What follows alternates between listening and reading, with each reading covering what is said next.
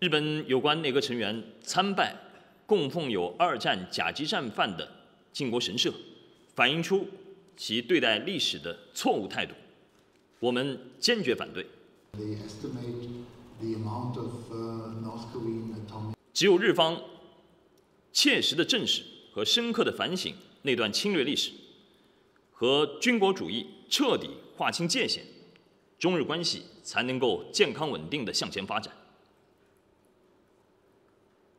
我们希望日方切实的恪守正视和反省侵略历史的郑重表态和承诺，以负责任的态度处理有关问题。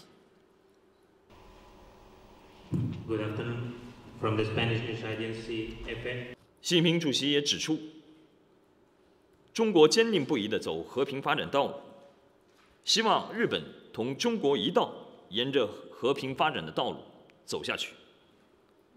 共同为国际和地区和平、稳定、繁荣做出更大的贡献。两国领导人要为此承担起应尽的责任。我想，这次会议无疑将为中日关系下一步的改善和发展指明方向。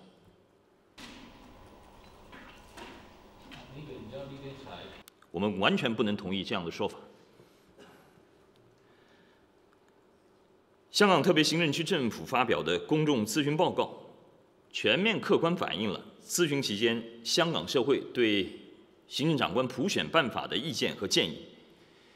提出的有关方案符合香港特别行政区基本法和全国人大常委会有关决定，符合香港的实际情况，兼顾了香港社会各阶层、各界别的利益和诉求。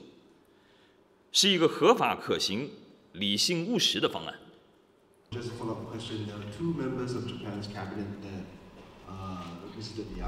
我们真诚希望香港社会各界广泛凝聚共识，把握历史机遇，如期实现2017年行政长官由普选产生的目标。我要强调的是，香港事务纯属中国内政，别国无权干涉。昨天的首脑会谈上，我感觉习主席。